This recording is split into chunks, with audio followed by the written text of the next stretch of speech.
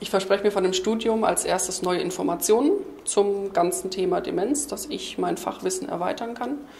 ähm, und dass ich neue Impulse kriege, was gibt es außer meinem Beruf eben noch für Berufsgruppen, die damit arbeiten und wie kann ich mit denen zusammenarbeiten.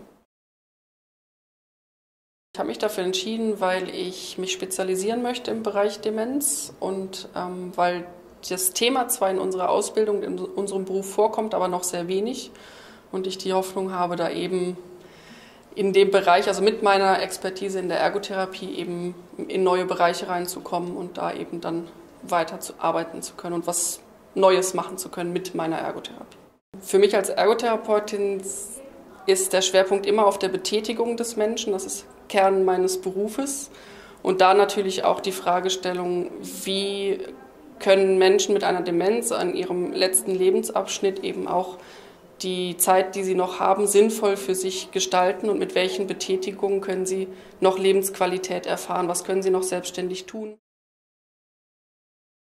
Ähm, ich profitiere von den anderen Berufsgruppen insofern, dass ich Informationen kriege, die ich noch nicht kenne, die in meinem Berufsfeld nicht vorkommen, denen ich aber in meiner Arbeit trotzdem begegne, weil ich mit den Berufsgruppen ja zusammenarbeite. Und so kann ich die eben dann besser verstehen, hoffe ich jedenfalls nachher, und dass ich die ähm, die Zusammenarbeit für mich eben auch verbessern kann, wenn ich weiß, was die anderen Berufsgruppen bewegt und was für Fragen die sich vielleicht stellen.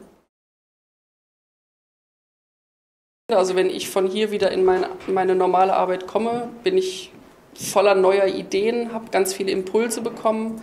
ähm, habe neue Richtungen, in die ich denke. Der Studiengang ist für mich außergewöhnlich, weil ich vielen verschiedenen Menschen begegne, die aus anderen Richtungen kommen, andere Ansätze haben, aber sich mit dem gleichen Thema und mit dem gleichen Wunsch beschäftigen.